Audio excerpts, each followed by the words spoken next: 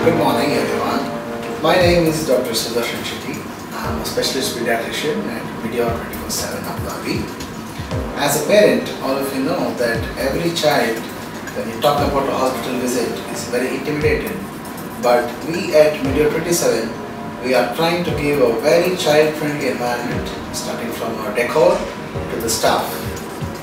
We at Pediatric Department of uh, Medeor 24-7, we believe in preventive medicine we are planning to launch a campaign for before the, your child starts your next school term. We are starting it on August 15th and we are covering uh, services like health uh, checkup, vaccination, uh, checkup of the eye or the ears. It might be a, just a simple body ache. We are going to see everything.